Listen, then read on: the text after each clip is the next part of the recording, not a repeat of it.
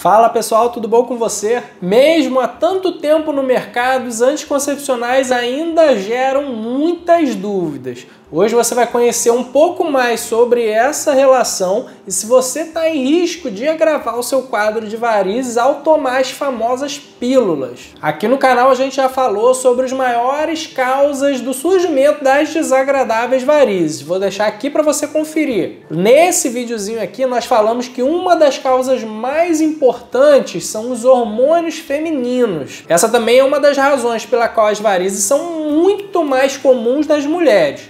Somando-se a ação da genética, elas não favorecem o sexo feminino. Opa, eu sou Felipe Damasceno, cirurgião vascular especialista no tratamento de varizes. E no vídeo de hoje você vai entender mais sobre essa relação dos hormônios e dos anticoncepcionais na formação de varizes e de outros problemas circulatórios. Além disso, vamos falar o que você pode fazer para amenizar a sua situação e não sofrer com isso. Vem comigo.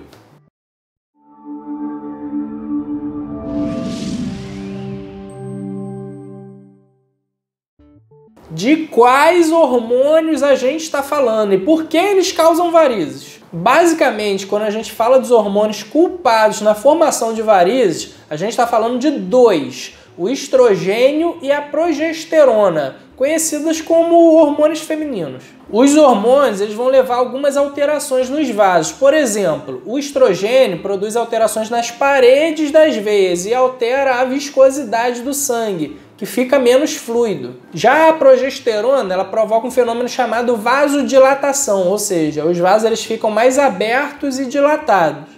Isso faz com que o sangue passe com mais dificuldade, assim abrindo caminho para as varizes. Não custa lembrar também que se você gostou da ideia desse vídeo, me agracie com a sua inscrição, que eu tô sempre postando sobre esse assunto e ainda tem muita coisa boa por vir. Então se inscreve no canal para não perder os próximos assuntos. Onde que estão esses hormônios? Na prática, os hormônios em níveis que podem causar varizes, eles podem ser encontrados em três situações. Primeiro, no próprio organismo, eles são produzidos a todo momento no nosso corpo, especialmente nas mulheres.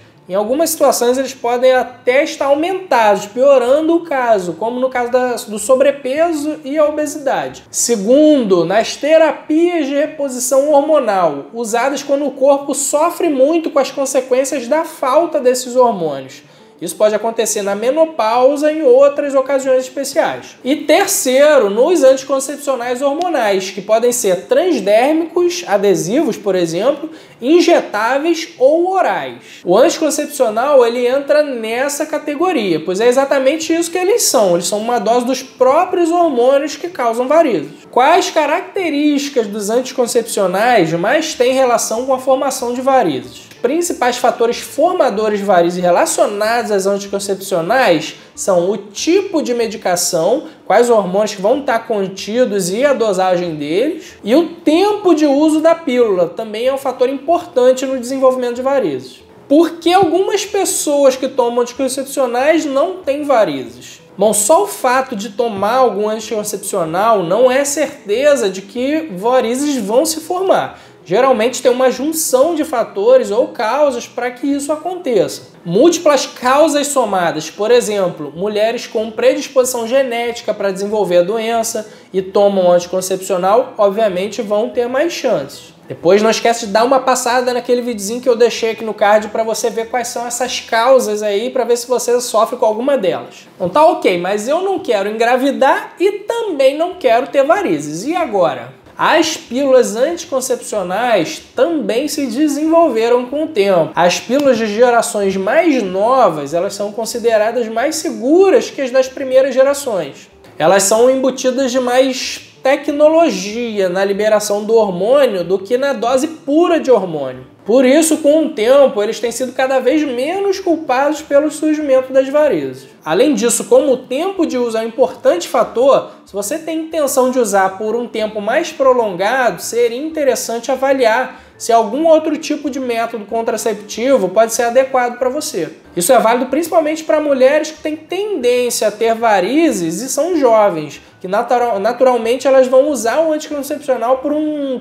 por mais tempo ao longo da vida. Né? Claro que tanto avaliar o anticoncepcional mais moderno quanto outros métodos contraceptivos possíveis para o seu caso deve ser sempre feito com orientação do seu ou da sua ginecologista. E o que mais eu posso fazer para amenizar a minha situação? Bom, para reduzir as chances de ter ou agravar as varizes, não existe milagre. O melhor jeito é se manter ativa, adotar um estilo de vida saudável e controlar os fatores causadores. Por exemplo, caminhar para manter a circulação sanguínea ativa, manter o peso corporal e evitar ficar parado por muito tempo em pé sem movimentação. Também já fiz um outro vídeo onde eu dou várias dicas práticas que você pode aplicar agora para evitar ou amenizar as suas varizes. Vou deixar ele aqui para você conferir também. Anticoncepcionais podem causar algum outro problema circulatório além das varizes? Sim, além das varizes, o anticoncepcional também tem relação aumentada com a trombose venosa.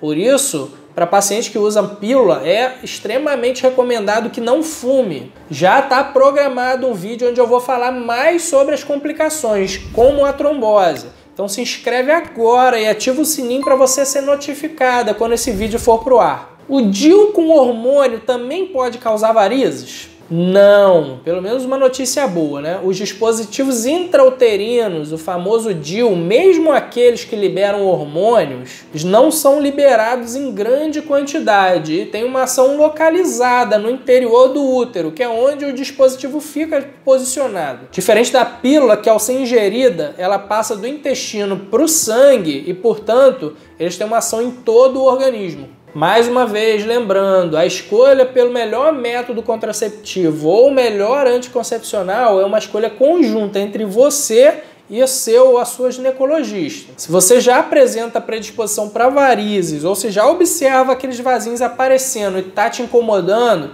mas mesmo assim o método contraceptivo escolhido foi o anticoncepcional, é recomendado também um acompanhamento com um cirurgião vascular para evitar ou controlar a doença varicosa. Se permita receber ajuda nessa transformação. Conta com o seu médico vascular para o tratamento das suas varizes e seus sintomas e viva plenamente. Lembrou de alguém? Encaminhe esse vídeo para essa pessoa, que talvez você pode estar fazendo diferença na vida dela. E se ficou alguma dúvida sobre o assunto ou esqueci de falar sobre a sua dúvida, manda ela aqui nos comentários que eu te respondo. Obrigado por você ter ficado até aqui comigo. Até os próximos vídeos.